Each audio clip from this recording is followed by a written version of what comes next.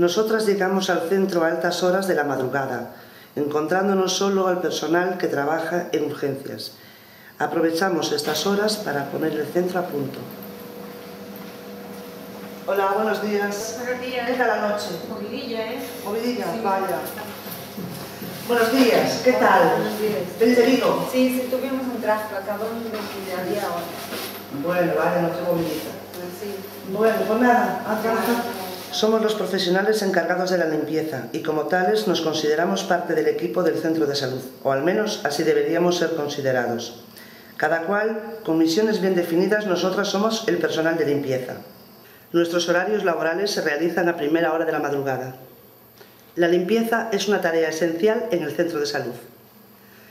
Cuando se realiza correctamente, contribuimos a reducir los riesgos para la seguridad y la salud de los trabajadores y usuarios del centro. La limpieza siempre la realizamos respetando las frecuencias asignadas a cada dependencia, respetando siempre las normas de seguridad e higiene específicas para el personal de limpieza.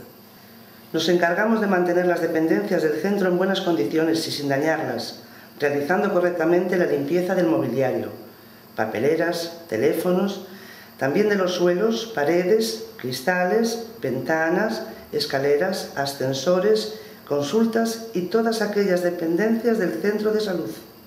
A veces nuestro trabajo no suele considerarse una actividad esencial en el centro de salud, lo que conlleva una falta de sensibilidad sobre los riesgos asociados con los procesos de limpieza, como la exposición a sustancias peligrosas incluidas en los productos de limpieza, trabajos repetitivos por manipulación de cargas, ansiedad, dermatitis de contacto, estemas o trastornos del sueño. Mantenemos la superficie de los suelos y el mobiliario del lugar de trabajo en buenas condiciones, ampliando la vida útil de los equipos. Estamos obligados a seguir unas normas que tenemos que cumplir. Obviamente, nunca utilizaremos material sucio para limpiar. Los cubos de basura y sus correspondientes carros de transporte han de ser limpiados diariamente. Debemos evitar el riesgo de resbalones, tropiezos y caídas, en particular durante la limpieza húmeda.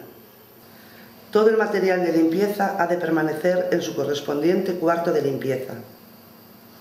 Finalizada la jornada de trabajo, se someterán todos los utensilios utilizados a una correcta limpieza que permita disponer de los mismos en perfecto estado al comienzo de la jornada.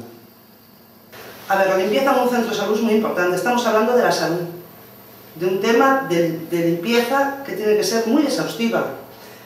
Desde aquí al gobierno, a quien gobierne, a las empresas que las aprietan para que pujen reduciendo gastos y la reducción de gastos la pagamos los trabajadores, quitándonos horas y exigiéndonos, por supuesto, el mismo trabajo.